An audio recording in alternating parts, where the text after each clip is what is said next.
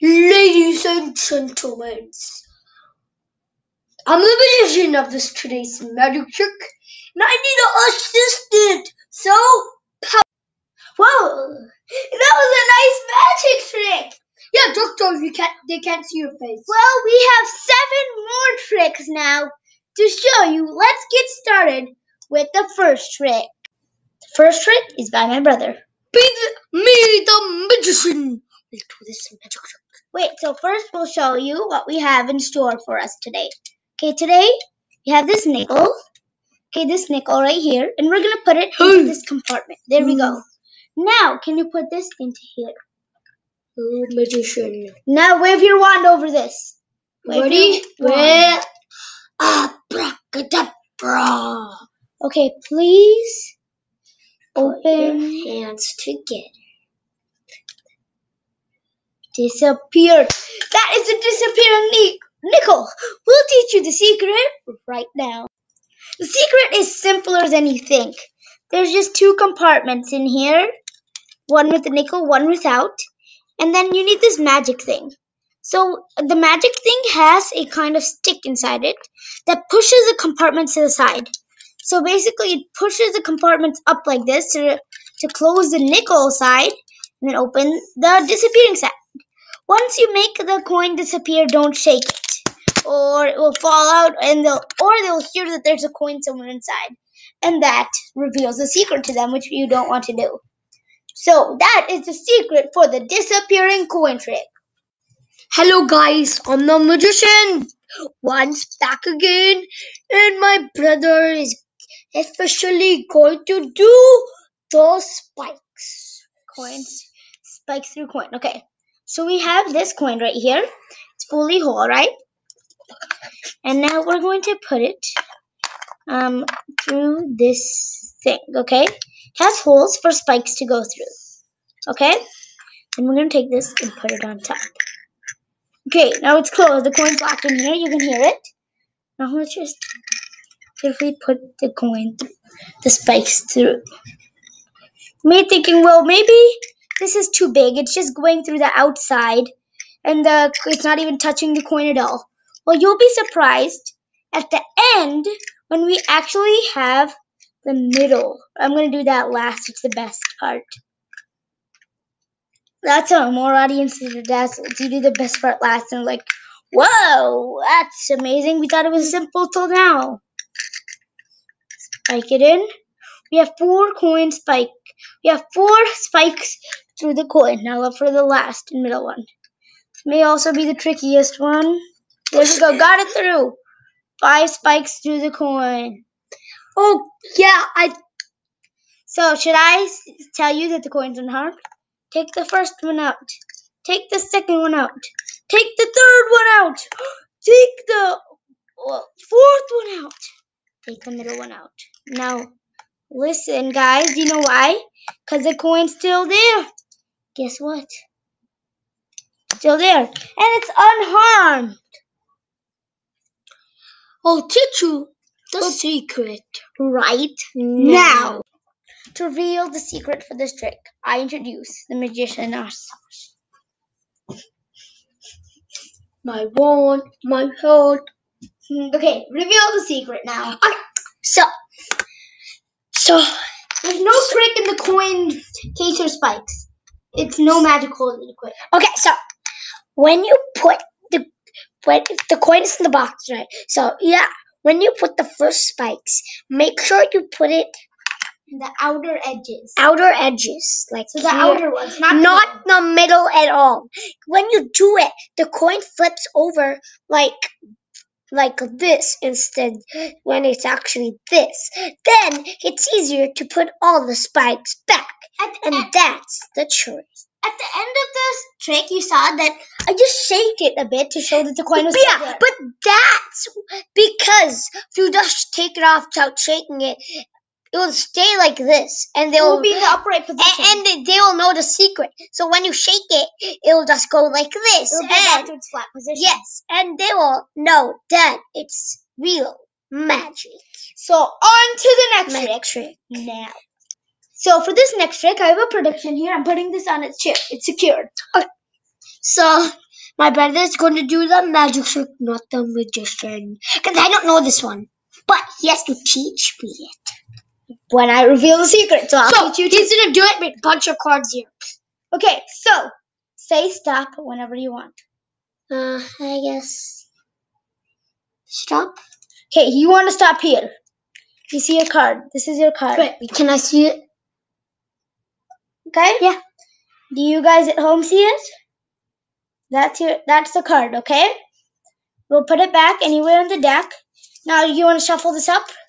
I don't know how to shuffle. I'll try my best. Yeah, and then put that at the back like that. Okay. He's shuffling it up. Okay, ready? Nope. Do you want to see the predictions that I wrote at the starting of this? You want to see it? Yeah. What is it? On this tissue paper, I have written the nine of spades.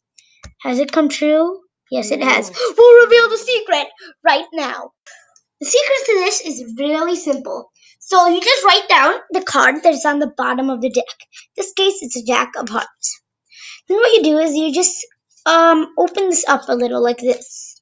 So then, um, so I'm pretending that I'm the person that's doing it, and you keep doing it like this, like They this. tell you when to stop. And you know what? The You, you what you need to do is that when let's say they have this much pulled back, you just you don't it like actually poke their card.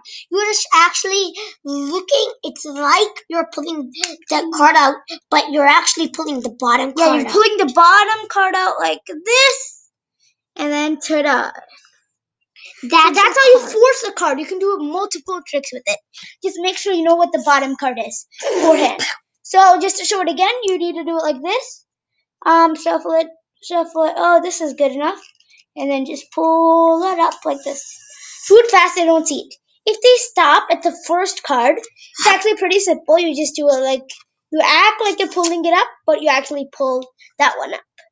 So Oh. that is the oh, secret oh. for the mind reading predicting card. I don't know the name of the trick. Trick. This next trick is the ancient linking rings trick. We have two rings. One, two, three. And it's together. Pull it apart. You can't. You can't pull it apart. Because it's a magic linking rings. Okay, now you're thinking, well, you can do this trick only once. It's permanent. Well, no, it's not. One, two, three. Try to do it again. One, two, three. One, two, three. That's the magic linking rings trick. We'll tell you the secret right now. So the magic linking rings. Okay, so for this trick, so I can't barely see you, but I'll tell you. So I'll put a part. So as you can see, there's some holes in the hole in the other. So I think you should explain the rest.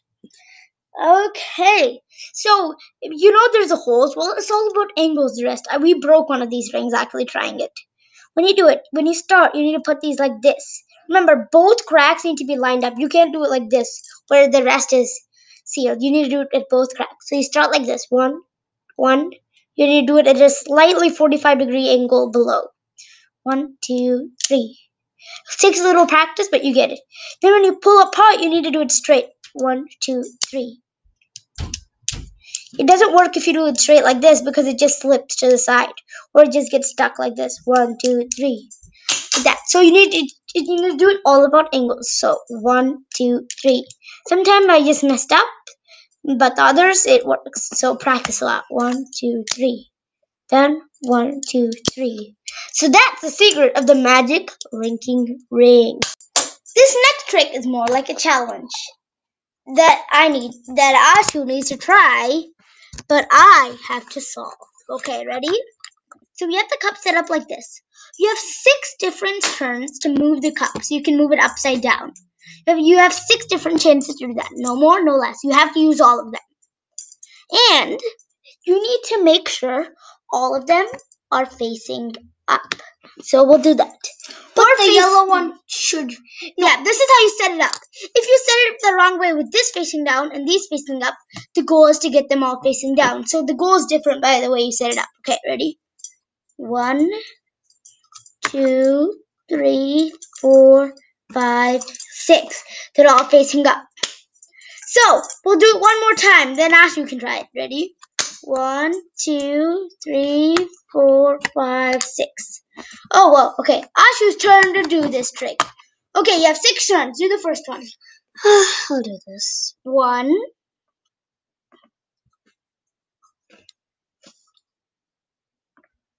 two, Three. get that up. four, five, six. No, I'll give you one more try, okay? Okay. Use this try wisely. Okay, so it starts like this. Oh, yeah. No, no. It starts like this. Okay. Six more turns. One, this. two, three, four,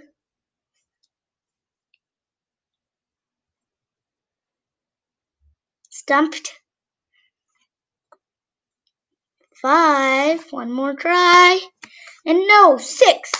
We'll tell you the secret of the cops right now. The secret is actually really simple. It's just the order you do it. So this is the, what I did. Whoa, blowing through the magic wand, huh? Oh, I didn't know that. I'm So- giving some more powers. Okay, so this is the way you do it. You need to do it in order.